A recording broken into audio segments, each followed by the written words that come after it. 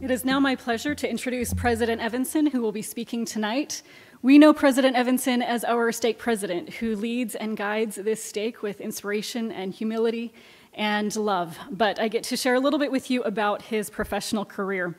He graduated from Columbia Law School and clerked for a federal appellate uh, judge in Washington, D.C., and he spent the last 15 years at the law firm Gibson Dunn, where he practices appellate and constitutional law including in cases before the U.S. Supreme Court.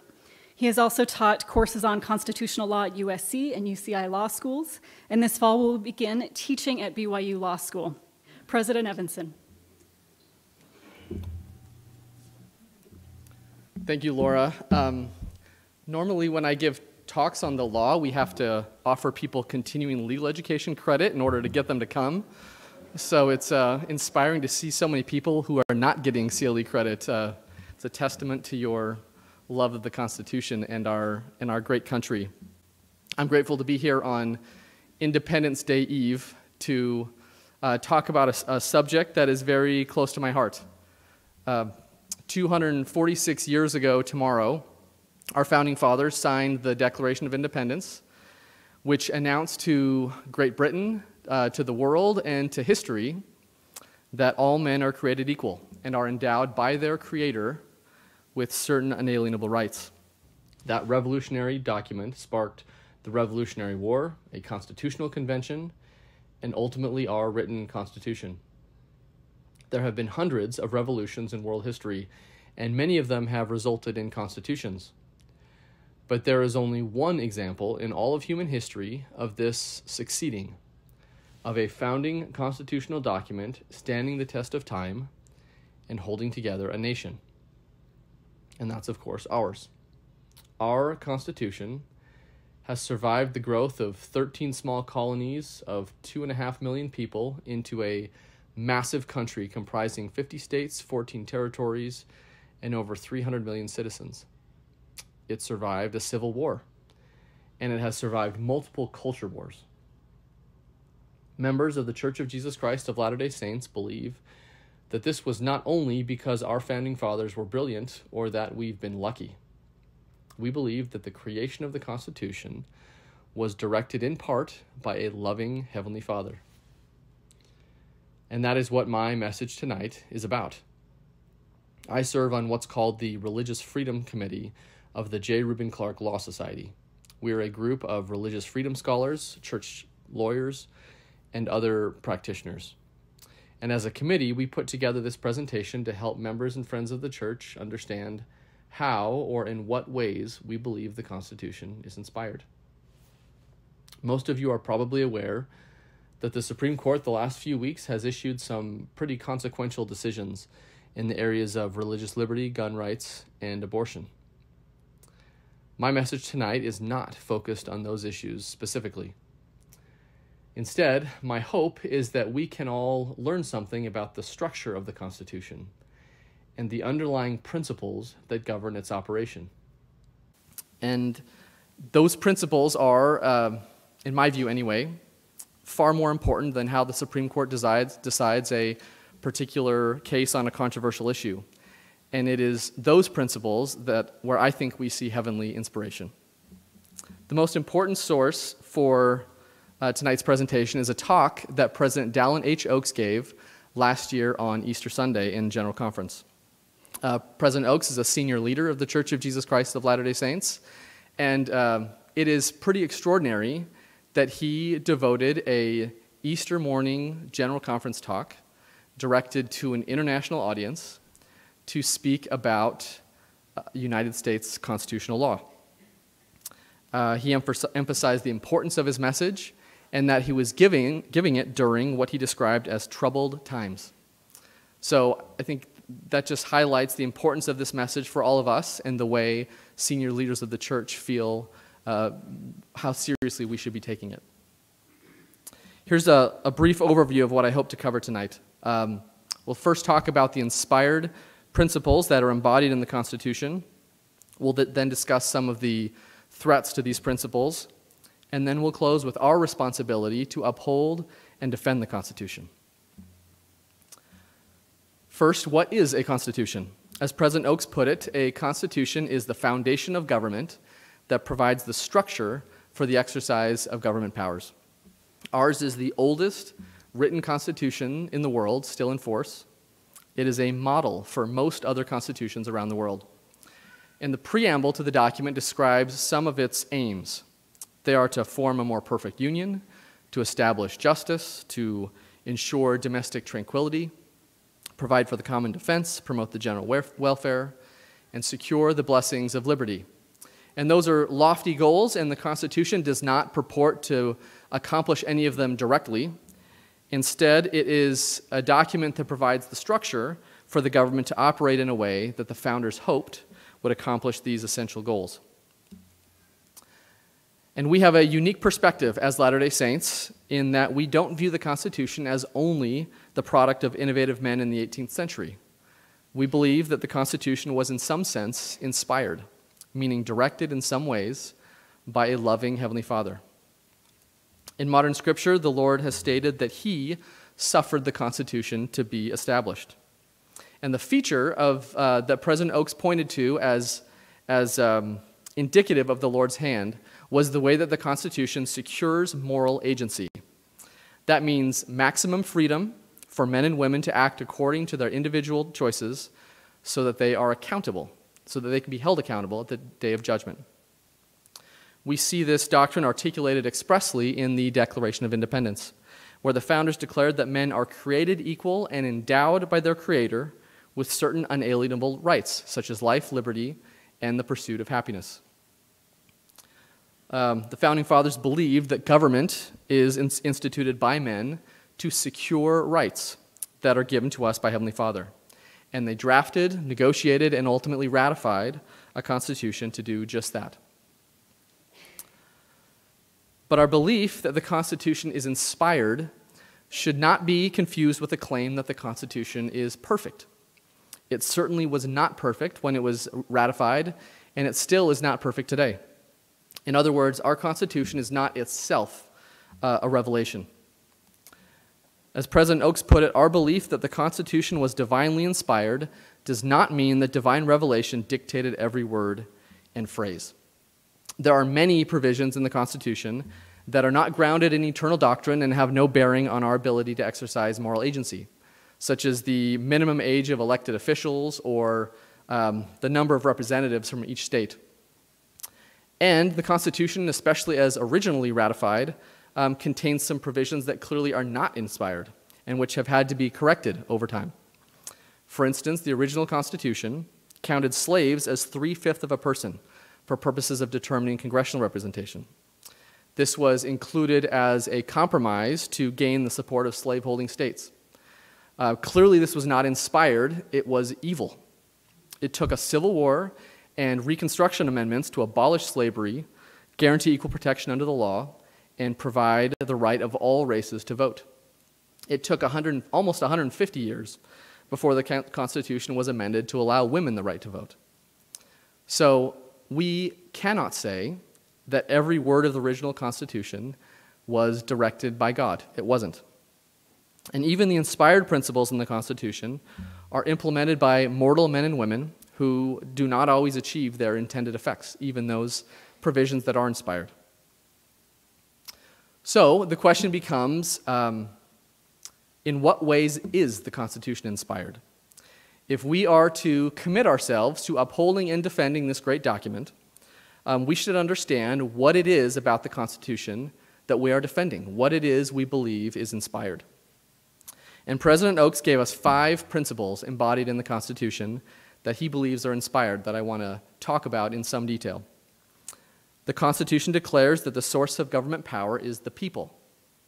It divides power bet- between national and state governments. The Constitution enshrines a separation of powers among the branches of the federal government. The amendments to the Constitution include special protections um, for vital individual rights, and the Constitution establishes the rule of law. I'll go through each of these. The first inspired principle is that the government, uh, the source of government power is the people. And popular sovereignty is a major theme uh, throughout the Declaration of Independence and, and the Constitution. the Declaration of Independence states that the people create governments to protect their liberty. Governments do not grant liberty, they protect it. And this may seem obvious to us today, but in 1787 it was a novel concept. At the time, sovereign power was generally assumed to come from the divine right of kings or from military power. And although there were political philosophers who had advocated for this concept of uh, popular sovereignty and the power coming from the people, the United States Constitution was the first to actually embody this concept, the first to actually put it in print and form a government around that central theme. But a theme you will see throughout the constitutional debates is that the Constitution did not create a pure democracy. As President Oaks put it, we exercise power through elected representatives. Pure democracy uh, was associated with mob rule, meaning groups of people using force and intimidation to compel government action. And as James Madison explained in the Federalist Papers, that pure, pure democracies had historically led to turbulence and contention, and they had been short lived. So the founders wanted a more stable form of government, a constitutional democratic republic where the people exercise their power, again, through elected representatives. The second inspired principle is that the Constitution divides power between the national and state governments, what we refer to as federalism. Uh, federalism is the way a group of uh, colonies with very different cultures were able to form a government that allowed political and moral diversity among the states, while at the same time unifying the country on a limited number of issues where a strong federal government was necessary. And the central tenet of federalism is that the federal government's powers are limited, and those powers not granted to the federal government remain with the states. James Madison, again in the Federalist Papers, explained that the federal government's powers are to be few and defined, whereas state powers are numerous and indefinite. Federalism means that state governments have general powers to police and govern citizens, but the federal government has only those limited powers that are defined by the Constitution.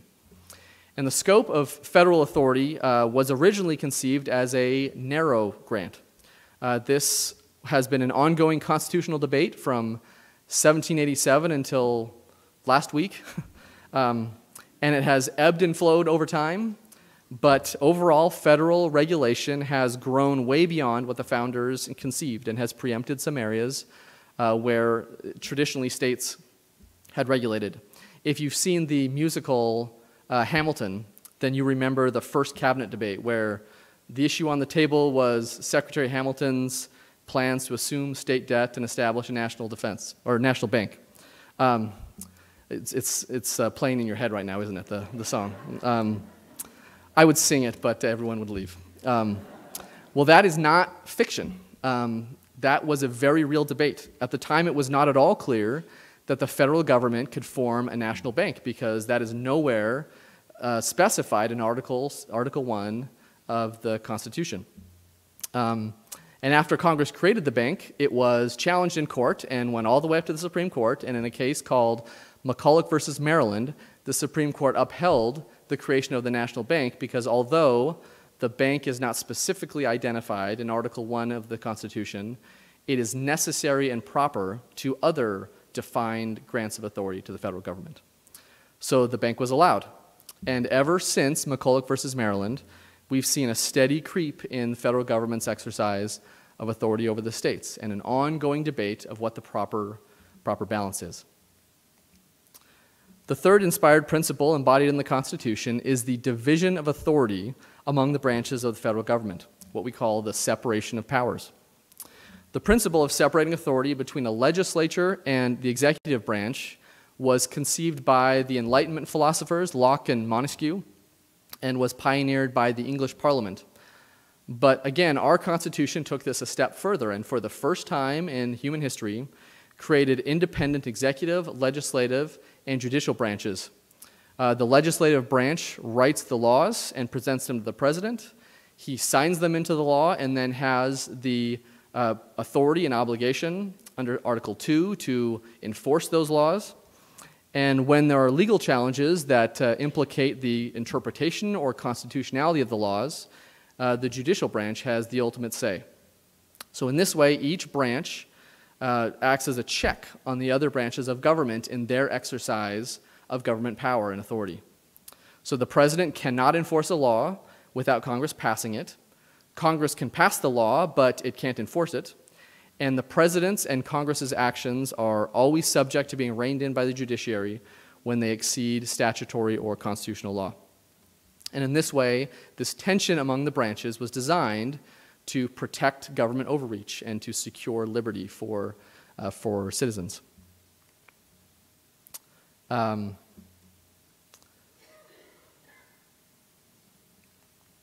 the fourth inspired principle is the special protections of individual liberty that the Constitution provides in the Bill of Rights. The Bill of Rights was not ratified with the Constitution, uh, but was separately adopted uh, three years after the fact. This was again pioneered in England, beginning with the Magna Carta, and our federal Bill of Rights was modeled on uh, those that had been adopted in some of the colonies in connection with their state constitutions. President Oaks characterized the Bill of Rights as a cluster of vital guarantees of individual rights and specific limits on government. Uh, the Bill of Rights, as ratified, did not apply to state governments. These were purely protections against federal government overreach. It wasn't until after the Reconstruction Amendments following the Civil War um, and the ratification of the 14th Amendment in particular that the protections of the Bill of Rights were incorporated against the states uh, to protect civil, uh, citizens from government overreach by state governments. Before the, the Reconstruction after the Civil War, only the federal government uh, was reined in by the Bill of Rights. President Oaks said that without a Bill of Rights, America could not have served as the host nation for the restoration of the gospel, which began just three decades later. Think about just how close in time those events are the ratification of the Bill of Rights and the restoration of the gospel. Uh, these first five amendments contain some of the most important protections against incursions on individual liberty. It's hard to overemphasize the importance of the First Amendment. It prevents the government from infringing an individual's free exercise of religion. It prevents the government from establishing a religion and thereby disfavoring other religions. And it protects the rights of individuals to speak, assemble, and petition the government for redress. And we see divine inspiration in the First Amendment, both its religious protections and its speech clauses. And we see divine protection in, or inspiration in the other amendments as well, such as protections uh, for criminal defendants and due process in the Fourth and Fifth Amendments. And we could spend hours on each one of these amendments, but I will just mention them. Um, the Sixth and Seventh Amendments guarantee criminal and civil jury trials. Uh, the Eighth Amendment prevents the government from, uh, from exercising cruel and unusual punishment, and these provisions continue to be interpreted to this day. Uh, they are a constant source of, of controversy and interpretation and development as uh, new circumstances are presented in cases that make their way up to the Supreme Court. And the Ninth and Tenth Amendments ensure that the Bill of Rights is not somehow construed as being the complete list of all individual rights. And they reemphasize that states retain all the authority that are not, that's not given to the federal government. As I mentioned, the, the, the Constitution was not perfect as originally conceived. Uh, far from it. And the Bill of Rights did very little to protect the individual liberty of women and minorities. Some of the later amendments following the Civil War were necessary to secure the promises of the Constitution for all, black and white, male and female. In 1865, during uh, Reconstruction after the Civil War, Congress and the states ratified the 13th, 14th, and 15th Amendments, which outlawed slavery, guaranteed equal protection under the law, and provided people of all races the right to vote. And then, not until 1919, did we ratify the 19th Amendment, which guaranteed women the right to vote. The final principle, um, inspired principle embodied in the Constitution, is its establishment of the rule of law. The rule of law is that all persons are equal before the law. We are governed by a written constitution and validly enacted statutory law, and not by any particular office holder. As John Locke put it, uh, we have one rule for rich and poor, for the favorite at court and the countryman at plow. And the rule of law is vital to the protection of liberty because, when applied correctly, it restricts the arbitrary exercise of power. Um, there are many constitutions uh, throughout the world in uh, countries that have very unstable governments. They have everything written down, but without the rule of law to actually constrain uh, government actors, it means very little. And so the rule of law is vital to the operation and the actual protection, uh, the actual ability of a written constitution uh, to protect individual liberty. So, those are the five uh, principles, inspired principles embodied in the Constitution. Um, hopefully, that has been informative, um, but it doesn't mean very much without a call to action, without some um, analysis of how it affects our lives and what we need to do to ensure that these principles are protected, that they continue to secure the blessings of liberty as the founders intended. And President Oaks provided some wonderful counsel um, on this. He identified three, uh, or he identified a few principal threats that he saw to the principles that are inspired in the Constitution. First, he pointed to the federal government's incursion on areas of traditional state authority. Federalism is a fundamental protection of liberty, and when the federal government regulates areas that have traditionally been left to state and local, local governments, uh, the Constitution's protections begin to wane. Liberty tends to increase the more local the government regulation, and the more uh, federal government regulation tends to decrease individual liberty. Second, he pointed to pressure on the separation of powers among the federal government branches. Again, the separation of powers is designed to increase liberty by protecting against government overreach. And anytime one of the branches of government arrogates to itself some authority that has been traditionally been exercised by one of the other branches, it weakens the Constitution's ability to protect against to protect, protect our liberty. And third, he referenced the dilution of First Amendment rights, like religion and speech. And we've heard several of the apostles speak recently on this topic, as recently as this last General Conference.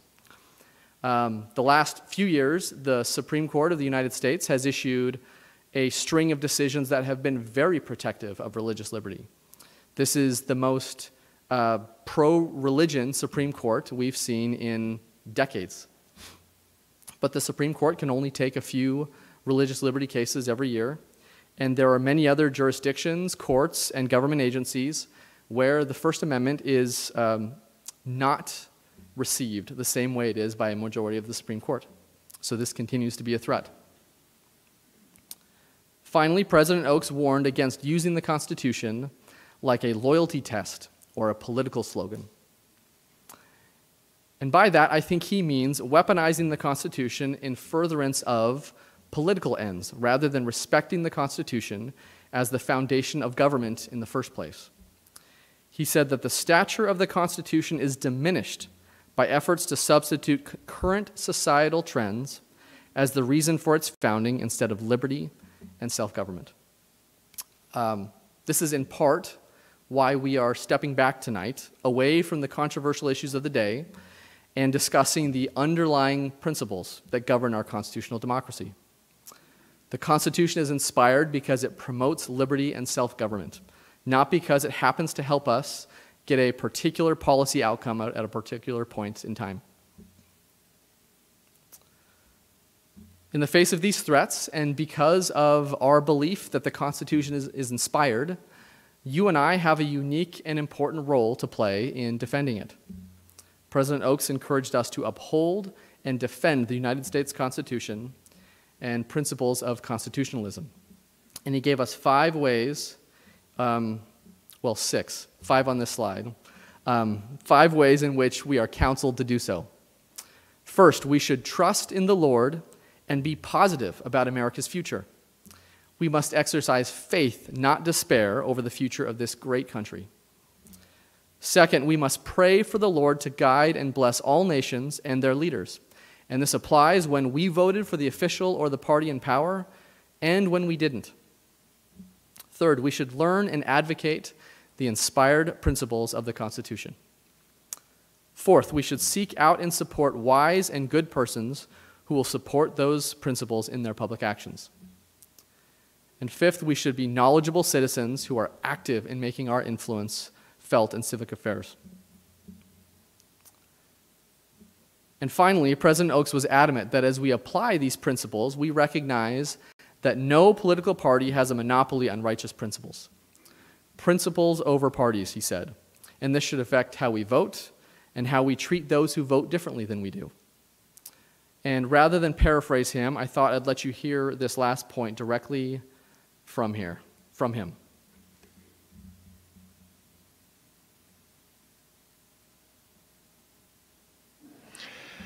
There are many political issues, and no party, platform, or individual candidate can satisfy all personal preferences.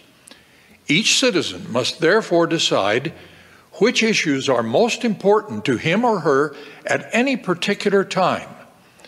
Then, members should seek inspiration on how to exercise their influence according to their individual priorities. This process will not be easy. It may require changing party support or candidate choices, even from election to election. Such independent actions will sometimes require voters to support candidates or political parties or platforms whose other positions they cannot approve. That is one reason we encourage our members to refrain from judging one another in political matters. We should never assert that a faithful Latter day Saint cannot belong to a particular party or vote for a particular candidate. We teach correct principles and leave our members to choose how to prioritize and apply those principles on the issues presented from time to time.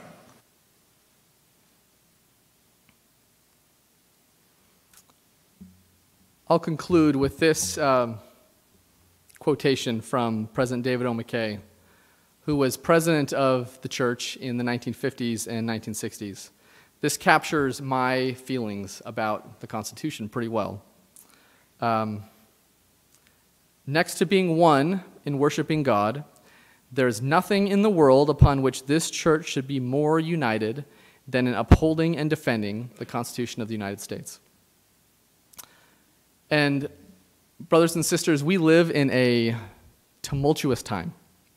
I'm sure it also felt this way during the Great Depression and during the 1960s. Um, I was not around during those eras.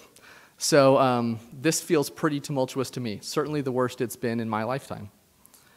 Um, but I have faith that all will be well. I know it will be. And that faith is founded primarily on the power and majesty of a loving Heavenly Father to whom my family and I are bound through sacred priesthood covenants. But second to that is my faith in the Constitution. The principles we've discussed tonight are the answers to all the controversial issues of the day. The Constitution has weathered conflicts before, much more intense and, uh, and uh, tumultuous conflicts than today, and it will weather them again. Our job is not to fear, but to dutifully work to uphold these principles. And I'm confident that this is what our Heavenly Father would have us do. We can have good faith, wonderful policy debates on, on, on the moral questions of the day. We can have diverse views on uh, political parties and candidates and everything else. But we should be united on these principles of constitutionalism. One of my favorite aphorisms is attributed to um, St. Augustine or John Wesley, depending on the source. And it's that in essentials, unity, in non essentials, liberty, and in all things, charity. And these constitutional principles we've discussed tonight um, are essentials. And I hope we can unify ourselves around them and then lovingly invite others around us to join us. And I say that in the name of Jesus Christ. Amen.